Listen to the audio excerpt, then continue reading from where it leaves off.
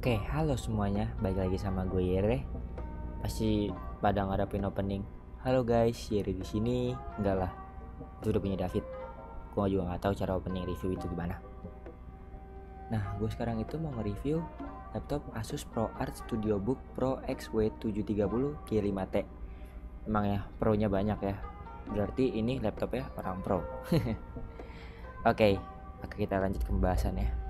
Oke, untuk prosesor, laptop ini dibekali dengan Intel Xeon E2276M yang kecepatannya 2,8 GHz bisa di turbo boost ke 4,7 GHz.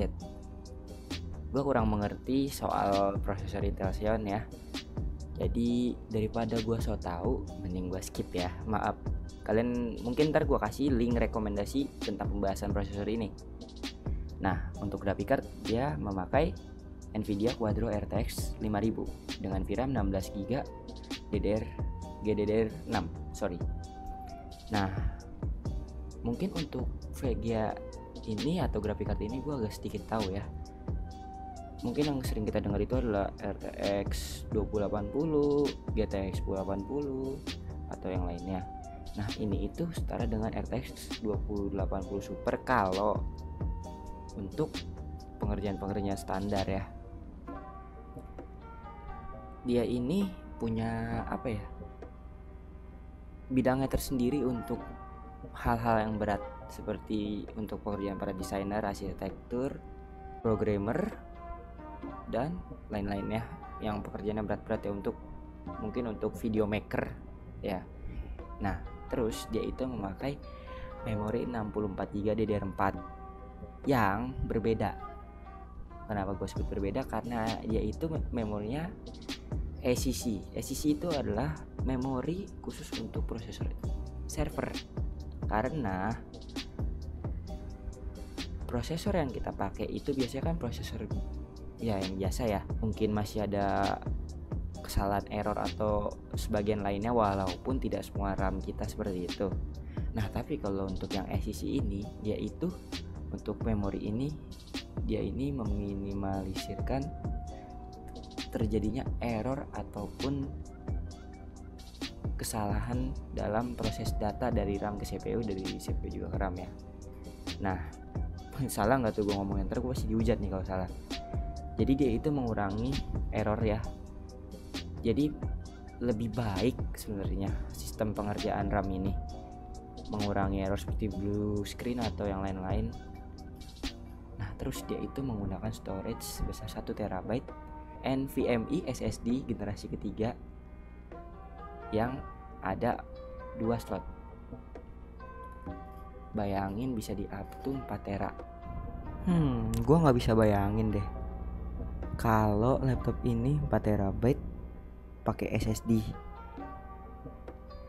Kalau diajak buka software atau startup Windows, secepat apa ya? 5 detik mungkin. nah, untuk layarnya sendiri 17 inci dengan resolusi 1920 x 1200 kenapa 1200 mungkin karena ini adalah 16 banding 10 ya 16 banding 10 yang ngebuat desktop kita itu lebih terasa luas ya kan? Yang bezelnya juga tipis bagi gue 3,8 mm doang. Dan terus layarnya ini menggunakan DCI P3 nah hampir salah sebut gua. Nanti ada gambarnya DCI P3 itu apa. Dia itu warnanya itu lebih tajam daripada sRGB bisa kita lihat tuh. Warnanya tajam ya lumayan tajam lah.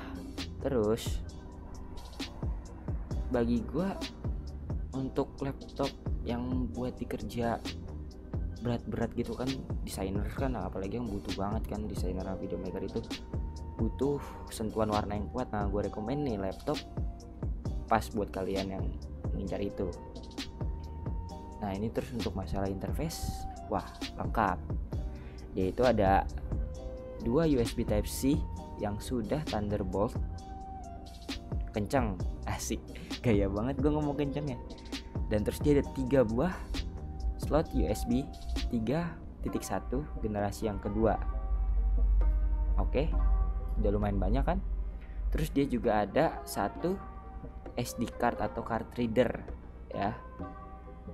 Ada juga audio satu input audio jack combo audio combo jack atau audio jack combo. Apakah yang benar yang mana? Terus ada satu RJ45 atau LAN jack ya.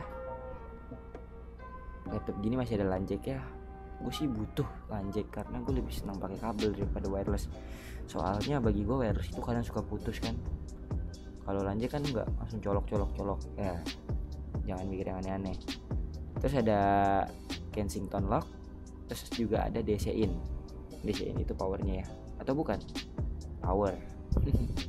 Nah nah kita balik lagi ke layar tengahnya nih. Bukan layar tengah layar yang bawah biasanya di situ di laptop-laptop biasa itu adalah cuma touchpad doang kan buat pengganti mouse. Nah di sini itu dia punya dua fungsi. Bisa jadi touchpad atau screenpad. Apa sih namanya? Touchpad ya.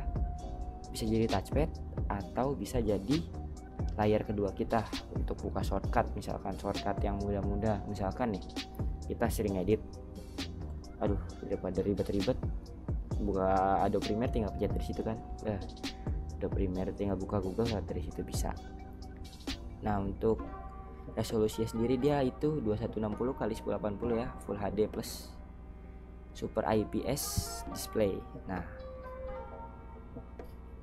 mungkin untuk menurut gue untuk layar kedua yang sekecil ini ya udah cukup lah.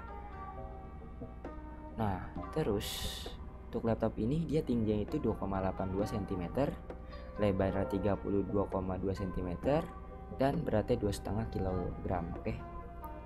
hmm. Dibilang tipis banget? Enggak. Dibilang tebal banget? Enggak. Jadi tengah-tengah lah ya. Ya kalau tebel juga bagi gua ini juga namanya laptop powerful kan? Yang pro asik. Sebenarnya banyak yang pengen gue tes dari laptop ini cuman karena keterbatasan waktu ya no, pertamanya. Jadi nggak bisa. Kalau misalkan nanti ada waktu gue bisa nge-review bolehlah.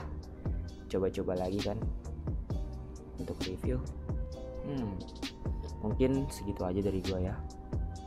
Gue soalnya kurang pro di laptop yang ini. Mungkin gue akan lebih banyak ngomong di laptop yang Zephyrus 2 itu. Mungkin itu aja lah. Kalau ada yang kurang maafkan saya pemula untuk laptop-laptop seperti ini. Kurang lebih mohon maaf ya nanti akan gue kasih link video dari jagat review kayaknya yang jelasinnya super jelas bagi gue tuh.